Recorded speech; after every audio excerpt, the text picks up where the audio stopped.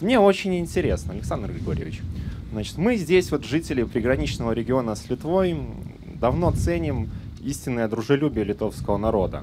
Вот. У нас здесь, естественно, экономические связи, родственные связи с литовцами.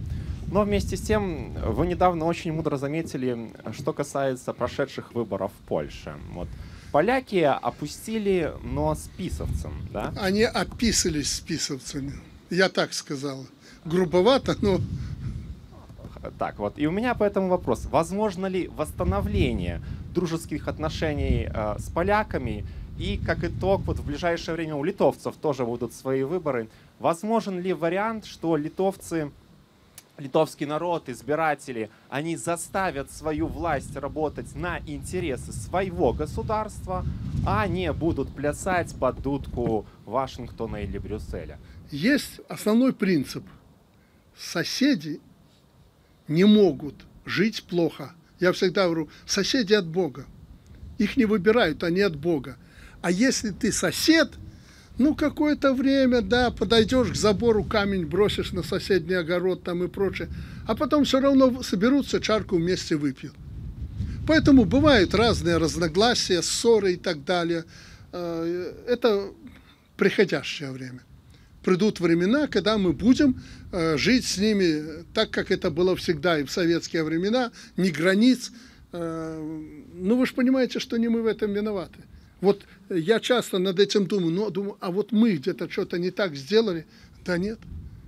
Мы никогда не обижали никого. Вот они возмутились, мы строим здесь атомную станцию. Я говорю, что у нас две точки было для строительства атомной станции. Почему я здесь выбрал эту точку, одну из двух? Я вам сказал, я хотел, чтобы развитие получил этот край. Там проще. Возле России ближе рынок и так далее. А здесь надо было людям дать эту отдушину.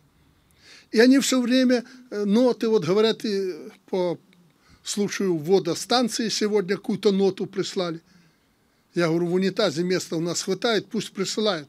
Но я им тогда говорил, литовцы, одумайтесь, мы все равно построим эту станцию. Ни американцы, ни европейцы, никто нам не помешает построить. Мы принимаем решение, что нам делать на нашей земле. И мы ее построили. Я говорил о том, что вот Игналинскую станцию закрыли. Три тысячи без работы людей. Приезжайте к нам.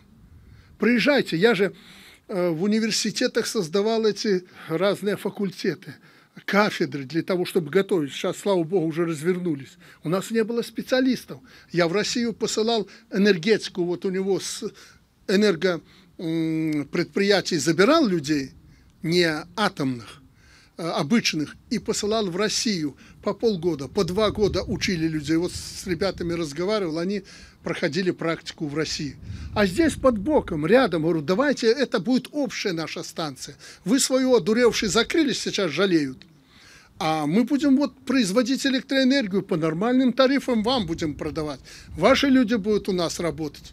Я по-человечески им предлагал. Ну, вы правы, там же не они управляют страной. Я в Литве был больше в советские времена, нежели будучи президентом, хотя был там один раз и будучи президентом. Это наши люди. Это наши нормальные люди. Да, своеобразные, потому что они белорусы, они литовцы.